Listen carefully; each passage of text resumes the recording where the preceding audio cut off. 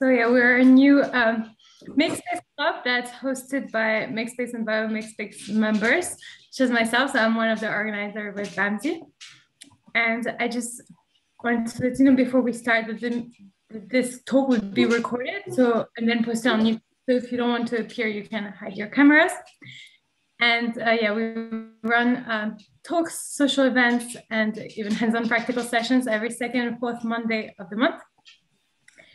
And uh, yeah, today we have Dr. Carlos and pattern formation. And on the 19th April, actually, we have um, a talk on how cultural meat could uh, um, be leveraged the innovations in the open science, the biology community. So yeah, I'll let Dr. Carlos on pattern formation introduce himself.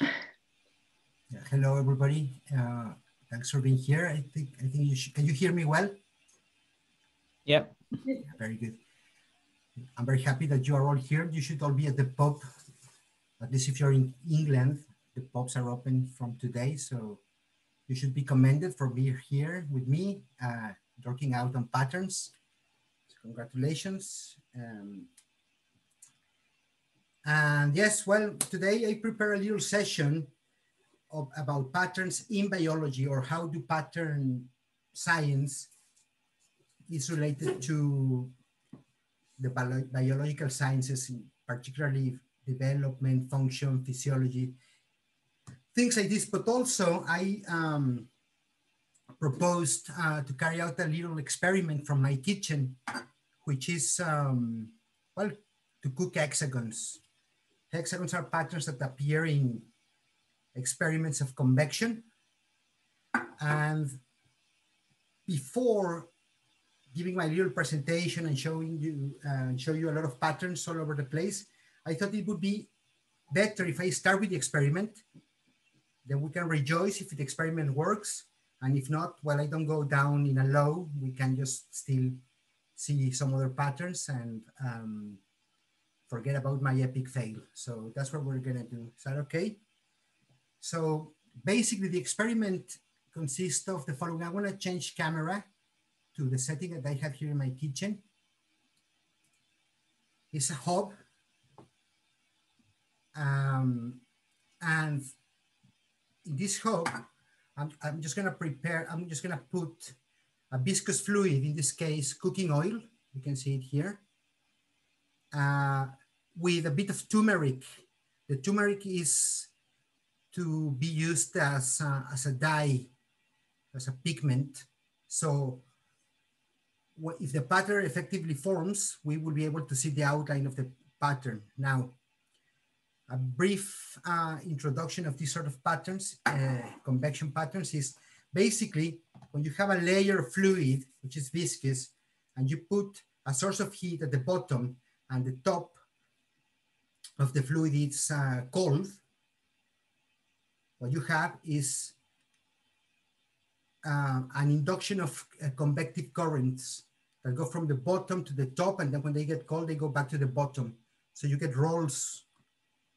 They roll from uh, the top to the bottom, and because of the symmetry of the recipient and um, the properties of the fluid, these patterns end up being hexagonal if it's the ideal case scenario. If it's not perfectly flat or the convection is not very uniform, you would see a little bit of stripes, a little bit of um, anomalies. It would be very regular. Now, this is a very, very uh, easy experiment to carry out in the kitchen, but it is very dangerous because it involves hot oil. So the very first thing I'm gonna do, I'm gonna turn on the hob here. I'm gonna turn it on to a temperature of three. And I'm gonna let it, let it um, warm up a little bit. In the meantime, because I carried out this experiment with this very same oil and turmeric earlier, it has sedimented a little bit. So I'm gonna mix it a little bit. Uh, I'm gonna use a, a bit of a spoon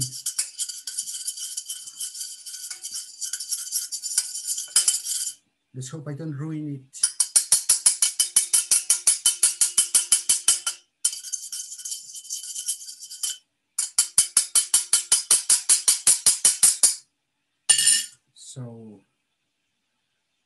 Now that it's more or less uniform, I'm just gonna let this to boil a little bit more. And fingers crossed. Let's hope that you will be able to see the pattern as well because the camera is a little bit far, but I'm just gonna put it there. And let's hope for the best. If I see the pattern forming, I would try to put the camera closer if it doesn't translate well into the screen. So anyway, these sort of patterns were uh, discovered many, many, many years ago by Bénard and by Rayleigh and are a quintessential out of equilibrium system. Why is it out of equilibrium? Because you're pumping energy into it in order to maintain the pattern. Okay, here we go. It is heating and we can see, we can see it. Let's just give a little bit more time. You can tell me if you if you see the contents of the pan. All right, if you don't, let me just put the camera in. Can you see? Uh, yes, there's, uh, there's a pattern of more or less a grid of dots, hexagonal grid. It is an hexagonal grid, exactly. This is a pattern that it aims to resemble um, coating in giraffes or leopards. Oh, I'm very happy that it worked very well. I'm just gonna turn off the heat before the oil starts to boil. You don't want to burn the oil. But there you go. That's the very first pattern that we're gonna see today live from my kitchen. I am very happy. I shouldn't be congratulating myself, but I am gonna do so. What a joy.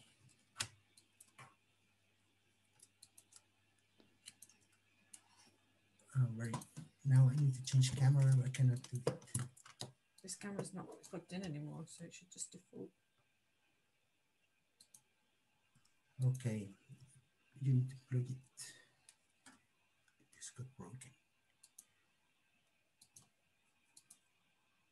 Okay, here I'm back. Thanks. Well, that was a very quick experiment. I'm very happy that it worked out more or less okay.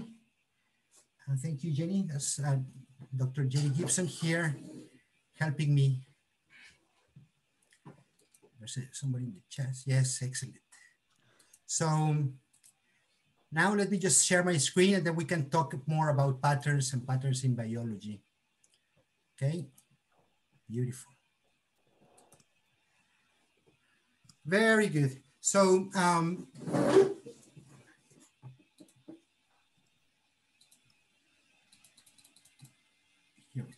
the story starts with this little reaction, which is called the Belousov-Zhabotinsky reaction. This reaction was discovered in the Soviet Union at the, late, at the late 70s, I think. And it has a very, very interesting story behind it because it was published in one Russian, obscure Russian journal or obscure to the West, stating, oh, well, you know, uh, we can have a clock that is a chemical clock. And we can create it in the lab and it's very simple and nobody believed it. So scientists in uh, the United States or Britain thought, no, this, this is baloney, this is impossible. We, they didn't believe these people. There are documentaries all over YouTube about this very uh, famous reaction. And well, eventually when people started to realize that this was actually happening or possible, you could create reactions that would oscillate autocatalytic reactions without adding any external force, but just mixed, just catalyzing chemicals, people started to think, oh my God, this is exactly what we see in living matter. We see this in neurons, we see this in calcium oscillations in, uh, at the time it was interesting, people were interested in calcium in the, across the membranes in uh, human cells and the heart. And without further ado, I'm just gonna show you the, the, the, the way this pattern actually works. It's a very long video, but I'm just gonna put the interesting bit when they uh, just steer the system they add some chemicals to it and you will see how it all of a sudden starts to um, change color. And then the color is gonna revert to the former um, color uh, pigment and so on and so forth. And you can actually keep this for a number of cycles without having to input more catalyzer. So that beautiful reaction started a massive, massive, massive trend in research in uh, nonlinear pattern formation. There you go, the BZ reaction. Now, once people studied this and understood that you can actually generate these oscillations in chemicals, some smart person said, okay, um, let's just change the geometry of this. Let's just not use this giant vessel here, but let's uh, change the geometry and put it in a Petri dish. What, why in a Petri dish? Because it makes the thing very flat and the diffusion of the chemicals, it's only lateral or in plane. And what Sorry. yes, Dr. Carlos, there are two black squares on your presentation on your screen. oh, so is it is Zoom? Yes. Okay, so let me just. Are they gone now? yeah, they're gone. Sorry about that. So when people put this little reaction into a Petri dish, constraining the diffusion to a plane, they discovered this, right? Amazing. And then if you perturb the system a little bit, you get more uh, sources of uh, waves and you can get all sorts of patterns if you change the geometry or if you add some other um, textures, uh, sorry, some other catalyzers to it, you can get very, very, very complicated patterns, right? So this then started to generate a revolution really in science because people were starting to ask, okay, there are other systems, systems in living systems in which we see waves do these waves behave in the same way? And if they do, what would be the um, consequence of this, right? For instance, one of the best known uh, systems in which this happens is the human heart and with calcium, intracellular calcium. So calcium gets released and reabsorbed into the cytosol, into the surface or the intercellular space, and then generates a, a, a, potential. This happens in a lot of cells. The difference with the human heart or with neurons is that these oscillations are driven by pacemaker cells, right? So you have an ex external stimuli that's driving the system to behave uh, periodically. Here I'm showing you some myocytes in which the calcium wave is triggered in one end and then it, it diffuses all across the cell. Now you can stimulate the cell in several different places and you would get waves that traveling across the cell in different directions. Now what happens when you don't look just only at one cell, but in a, into a tissue and you start to play with um, the geometry of the system or the pace at which you stimulate the, the heart. Well, effectively, as, as with the Belousov-Zhabotinsky reaction, these are, uh, now I'm going to show you tissue above our cells, single myocytes. These are tissues. And these are voltages. Like the calcium is ionized, it generates a, di um, a dipolar field that you can then measure as a voltage. That's a ECG basically. With these uh, measurements, people started to observe, oh, this is very strange. If the tissue is not homogeneous, you get reentries. If the tissue is homogeneous, but the relationship between the natural period of the calcium cycling and the pace follows certain relationships, then you start to behave also in very strange ways. You start to get reentry of the waves, you start to behave in what it is nowadays known as chaos.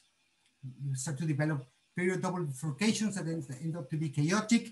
And the bad news is that uh, if you have an arrhythmia or you have tachycardia or if you have any sort of ischemic uh, injury in your heart, this can develop.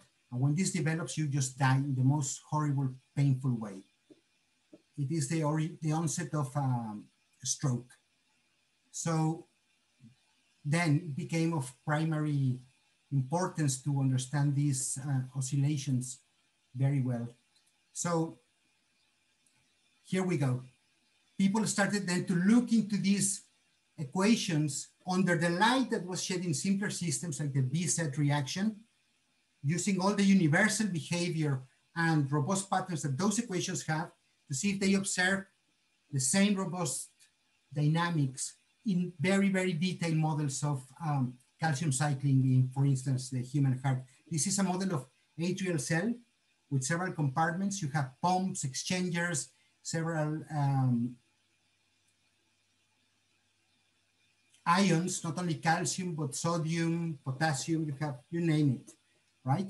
People have been able to measure the, the impedances between uh, compartments, uh, dimensions, diffusion coefficients, and they realized that what regulates this intake uptake uh, process of calcium induced and calcium release in the cell were these little guys that are called RyR2, is the ryanodine, ryanodine receptors.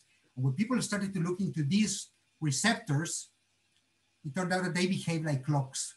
This diagram here on the right is the cycling behavior of these uh, ryanodine receptors. And that tells you that, and they do depend to be opened on the calcium concentration present at a given time. So it's a feedback process in a way. Calcium goes up, ryanodine receptor releases or intakes the calcium depending on the period of this guy. If this guy's period starts to be uh, messed up by a mutation or as I said, by some ischemic injury, whatever, what you have is results such as, oh my God, I made a mistake. Let me just go back here. Uh, uh, uh, uh, a behavior like this. You develop uh, OPS, one, two, one, two, one, two dynamics in the calcium concentration, and then you can characterize the period uh, bifurcation depending on the stimulation and the intrinsic recovery period of the clock and see what is going to happen if you increase or decrease the stimulation period depending on the recovery time of the ryanodine receptors, right? One of these, okay, and that is very important. This is exactly what you see in the reaction that I showed you at the beginning. You are able to induce oscillations in a living system and to understand them, which is more important. Now, some other kinetics show this very same um, behavior. This is the famous Lorenz attractor. In this case, you have three chemicals that autocatalyze each other and inhibit each other. And in a given range of parameters for the rates of production and decay of the chemical, you get periodic behaviors very well defined. These periodic behaviors are, if when you plot one variable against the other, means that you get closed orbits in the projection, such as in this diagram here, right? But then, if you actually tweak a little bit the reaction rates, and this is where it gets very interesting, because if this actually represents a regulation network or a expression pattern of a given complex, then you would also develop these bifurcations that would lead into chaos. That is at the very core of uh, evolution and development, really, because if you have a complex system that is described by a gene regulatory network that is very well known, very robust, preserved across many different organisms, you can see that the effect of a mutation could be this right? Because a mutation, what does in a regulation network is it changes the values of the enzymes production or removes or adds a link, an inhibition or an activation link. And this gave um, origin to studies into studies of circadian clocks or uh, other biological rhythms that are self-sustained. In this case, you're not inputting any energy into the system. You just add certain chemicals ab initio, and then the system starts to oscillate, right? So that is very cool. But then people started to think, okay, that is only a reaction. That is like just a tiny little point in the reactions that I showed you at the beginning. What happens when you do exactly the same as with the BZ reaction, put them in a flat space or in a tissue or in a cell and add diffusion. Well, it turned out that sometimes the system preserves the stability of the pattern and it only, the effect of diffusion is only to separate domains of up or down. But in some other cases, it gives you full chaos. I want to show you this pattern here. It's a reaction diffusion model. These are actually, they have a name, diffusion-driven instabilities have a name. This very famous, they are called Turing patterns, right? Because Turing was the very first person that described uh, this sort of uh, effect of diffusion in chemical reactions. Let me just show you this. I start with a very homogeneous mixture of two chemicals. And in this case, what is going to happen is that they are going to segregate into droplets. This system is more or less describes um, water and oil. It will take some time to stabilize. It is still evolving. We cannot see it very much, it's still evolving. Eventually we'll reach a stationary state, which is uh, very few droplets embedded into uh, an, another media. I think from here on on, we're not going to see any further change, I think. No, I don't think. Yeah, you stay there. It remains stable. Whereas in this case, this is a very similar set of equations than before. I start again with a very, very homogeneous mixture of components. But what happens is that they locally stabilize, but the diffusion is not strong enough to homogenize the mixture, and then you end up with this labyrinth. These sort of systems are very, very commonly used to describe zebra fish patterns or fingertips, like, you know, prints, your fingers, the, the formation in some other surfaces. It's um, a system that is out of equilibrium. It, it remains operating, but it, they both reach a stationary configuration that it's going to remain there for the rest of time right? Now I'm going to show you another set of patterns. These are mechanical patterns. Then again, they, they show many similarities, at least mathematically and structurally, to what I showed you before, but they are embedded in, they're, they're imprinted in the surface of certain flowers. Why are these important? This is actually amazing because these patterns are ridges that form on the surface of cells. And because they are um, nano ridges, so they are very, very small, they interact with light as diffraction gratings. The effect of that is that you will see the flower as an iridescent surface, like a CD, depending on the angle that you see, it will have one color or another. And then that turned out to be a cue for pollinators. So it's an evolutionary trait to allow certain flowers to attract with pollinators. I'm showing you here the tissue of these flowers early in the development and when they grow a little bit more, the petal develops a little bit more, you start to see that the patches start to emerge of these ridges and then the full domain, once the petal is fully grown, fully developed, they get like super, super striated. I, I have here a photo, a microgram of uh, the onset of the striation and we have another microgram of the fully striated pattern. And then again, can we describe this? It turns out that we can, if we do some mechanic, here is a, a cross section of this same picture. before and after. How do we go from here to here? Well, in this case, the key is growth and isotropic growth and the um, difference in the material properties between the upper layer and the substrate. That determines when a surface such as this is going to striate. And not only that, it tells you also when it's not going to striate. If the cuticle is not inhomogeneous enough, you don't striate. If you grow, but you don't grow enough, you don't overproduce cuticle or cutin, you don't striate.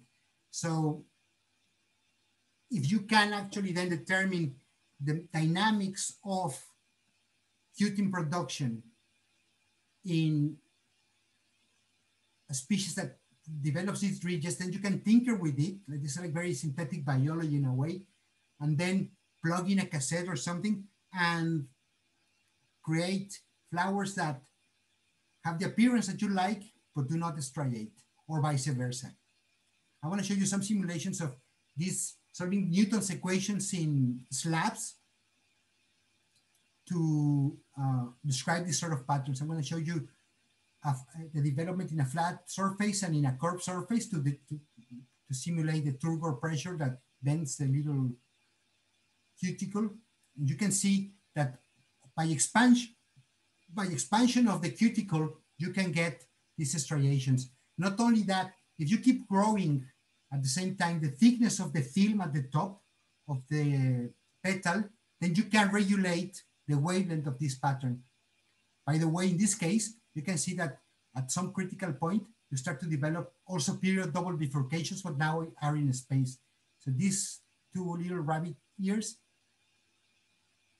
start to be paired rather than to behave as a single homogeneous pattern with a single single period. Let me just show you the same as this before, but like a close-up. You can see how the film growth induces the, um, the striation of the tissue.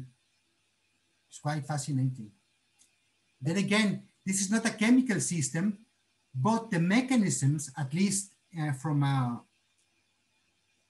metaphysically point of view, are the same. Symmetry breaking, geometric constraints, and of course the underlying genetic machinery that overproduces one or another catalyst will induce these sort of patterns. I got like thousands of examples because this is what I've been doing for the last year. So perhaps I won't go too deep into it. I'll just show you the same principle applied to a three-dimensional chunk of cuticle. I am, these two are the same uh, simulation of um, mechanical growth, just seeing from the top and the bottom. They're very uh, slow because at this stage I just took a very, very fine time step to appreciate the full um, effect of the striation formation. Let me just speed it up a little bit.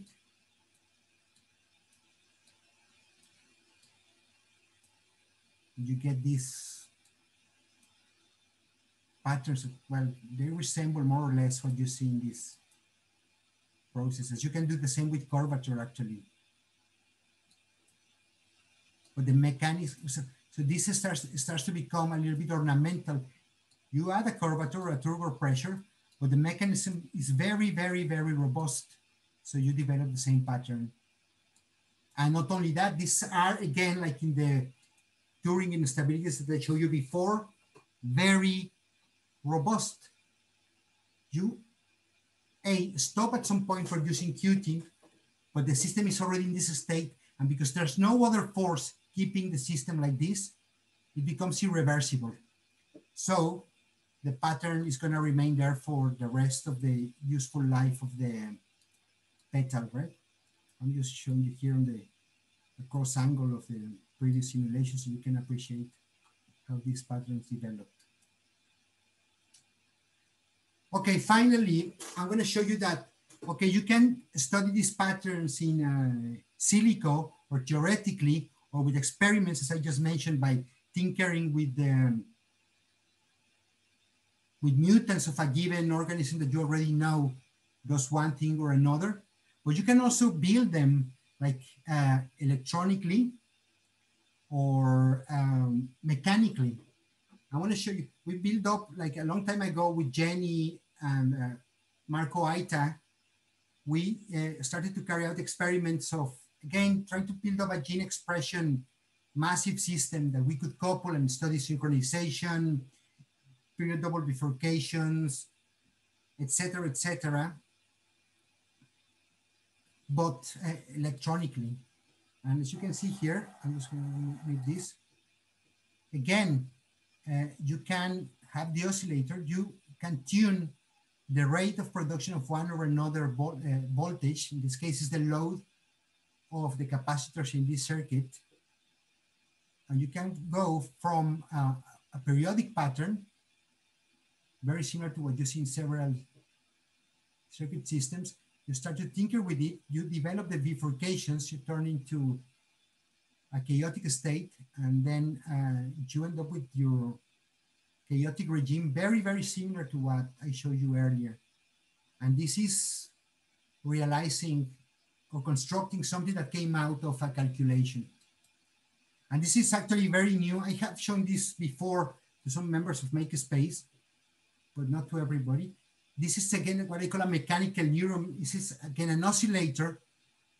It's basically a seesaw that has a counterweight here, and you can regulate the flow of mass addition in this end of the seesaw, and it will oscillate with a given period, and that's fine.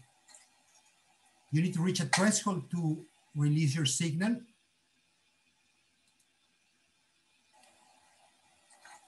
But you have a very definite period. It is fine.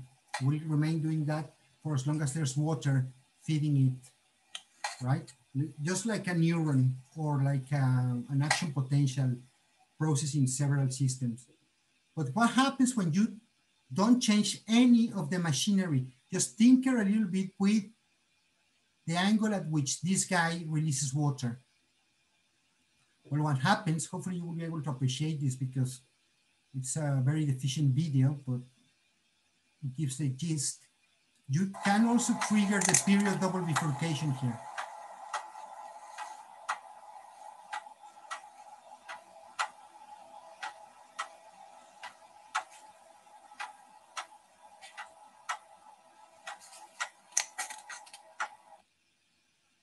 So, uh, okay, this picture I put, you know, only if, in case the uh, hexagon experiment didn't work, but that's all I have to say for today. By the way, I just want to say something. I would like to, we are always looking for people and like-minded um, enthusiasts to build more toys that describe um, mechanical or electronic versions of systems that we see in uh, nature. So if you're up for it, just get in touch and we can play with all these toys. Thanks.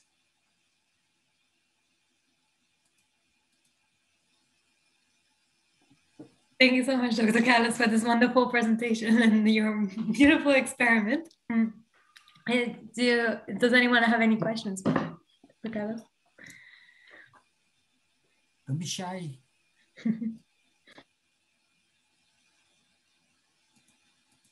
oh, where do I see the questions? No questions.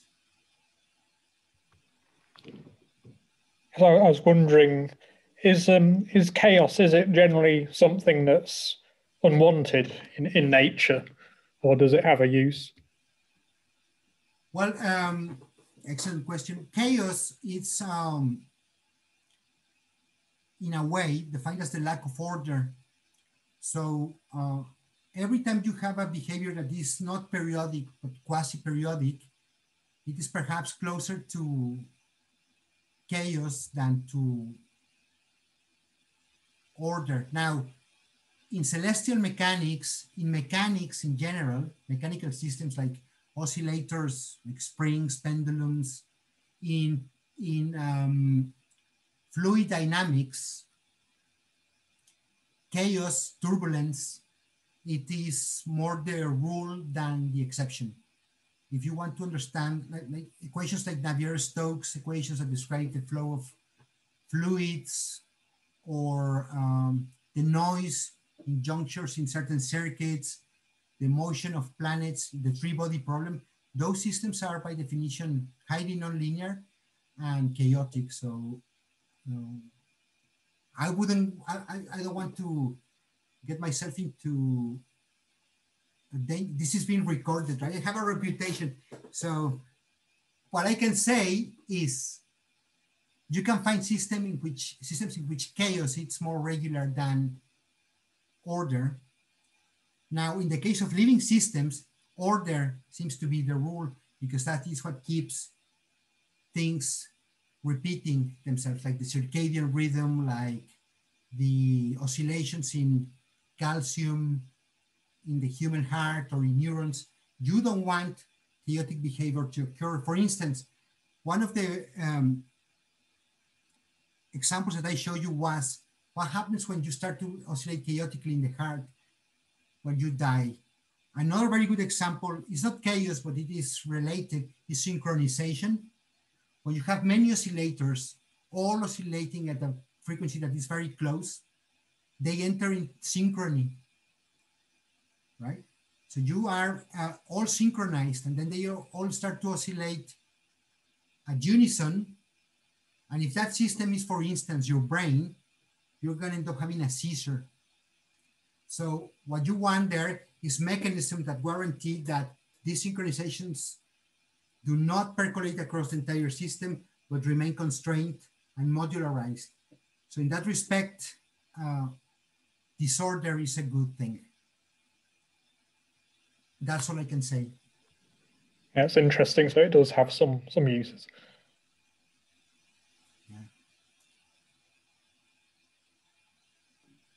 Is it the same for the muscle cells? Like, would you not want them to all beat in the same uh, oscillation? Should they be more disordered if you want to grow more muscle?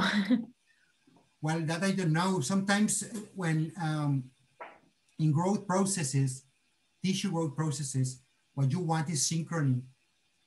So you don't develop uh, atrophies or uh, chimeras or, you know, organelles that are tumors, whatever. You, you have a synchronic mm. behavior and you, you elongate more naturally without developing any deformity, I suppose. But um,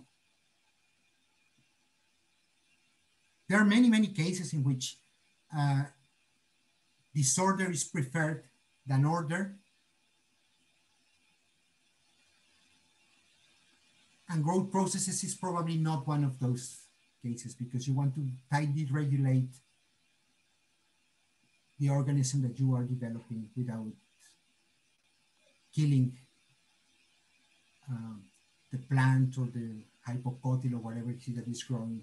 One of the things that happens very often when with the people I work in plant sciences is they do develop mutants and these mutants precisely because they do not have the tight machinery that increases certain bit an elongation factor or um, a complex in the in the circadian clock very well regulated, they die. They die very easily. They are not robust. They are not produce able to produce lines, or they do um, not flower, etc. So it is actually probably the consequence of all that I said is just like obviously a very broad picture of what people actually do all over the world in this sort of research is that we are going to have work for a long time because we are only scraping the tip of the iceberg into what is actually going on and the translation from genotype to phenotype. Like okay you have your sequences they express they get annotated but then you want to put them in regulation circuits in metabolic networks in complex to see what's robust what is not essential. Maybe now that we have uh, artificial intelligence that can make a lot of very good inferences, we can just train the neural networks to identify a lot of patterns in many systems and wait for a number of years and come back and ask, so what's the answer? And it's gonna tell us 47 or something. We don't know, but there's a lot of work to be done, yeah. 42, 42.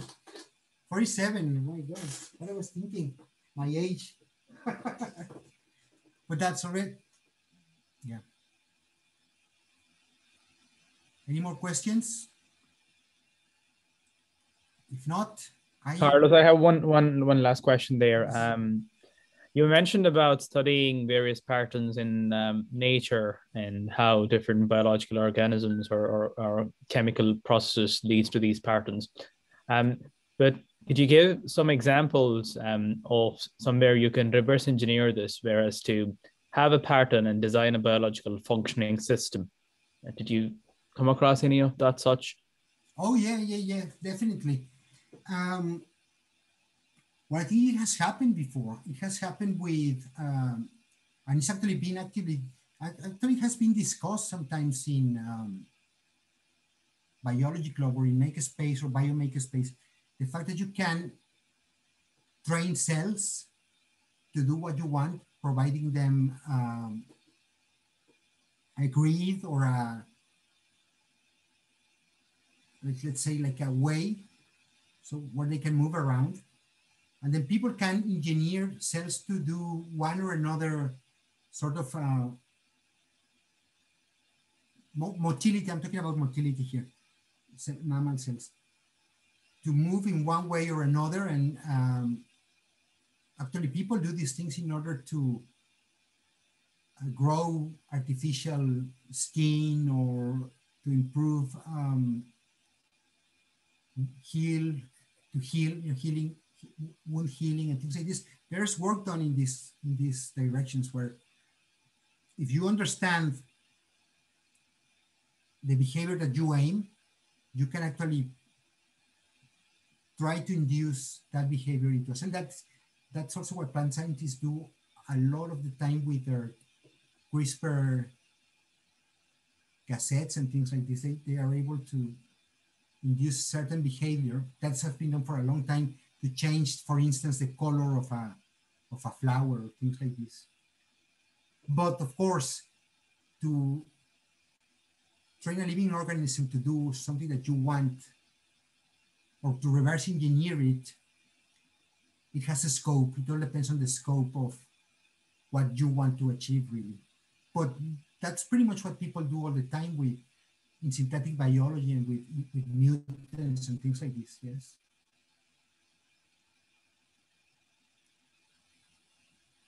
or maybe not. I, I forgot you're recording this and it could be available. Uh, it could be available later.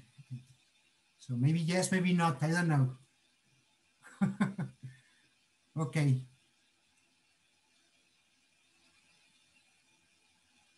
Anything else? Not, I think I my internet glitched earlier, but I was asking, um, what's the next thing that you'd really like to build? The next thing that I really like to do to build in terms of the toys and stuff. Oh yeah, well, there's a number of uh, sorry, there's a number of um, things that we can do. One of the things that I had, I was working a few months ago, like actually at the beginning of the pandemic, but then everything turned into chaos. Was I, I am trying to build um, with Marco. I don't know if Marco is here today. Uh, a circadian clock, like a self-sustained system that actually takes information from the environment. In this case, that would be a light and temperature and translate that into an oscillating system that do something. But it's periodic, it's self-sustained. And then to be able to tweak with a parameter or two in terms of a, a resistor or voltage um, to modulate the period of that circadian oscillator. We wanted to build like in a way like a electric circadian clock, electronic circadian clock, but uh, and it's not that difficult, but it involves coupling several oscillators. It involves coupling um, something that actually translates into a phenotype could be a color screen, could be um, applying some tension to some filament so you can uh, move in one direction or another. there's many, many things that can be done that are, now I have to say that all the stuff that I do, you can ask Jenny this, they are all for fun. I wish I could publish more all this stuff, but I, I end up always doing this for fun and to know, to know, because I think it's important just to know. There's no reason for why would I like to do that? Just to know or to test. Actually, it re relates to the previous question or to reverse engineer some behavior. I don't know. We did a lot of um, experiments on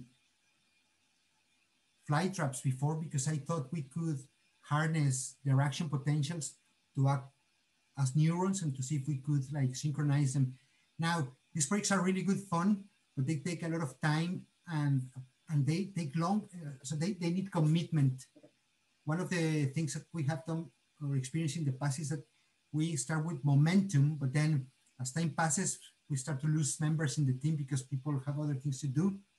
And because these things not necessarily advance very fast, uh, they get abandoned.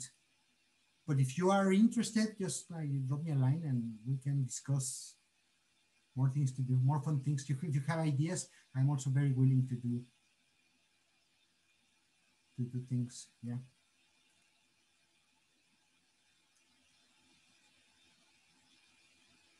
Okay. Excellent. I cannot listen to anybody. Hello? Hello, we can hear you. I'm just trying to find the video. I was at, I was in Italy last year, and there was a really cool. Not, not two years ago. Last year basically didn't happen. Um, uh, there's a really nice video of some um, patterns, but I forgot they did something extra on top of the ordinary, um, uh, the ordinary kind of autocatalytic ones. And I'm just trying to find the video because it was really cool, um, but I'm struggling. I might post it in Biology Club if I can't find it. Well, we can post it in the channel. Okay, then if there are no more questions, uh, Dr. Carlos, could you please uh, stop sharing and I'll just share one slide.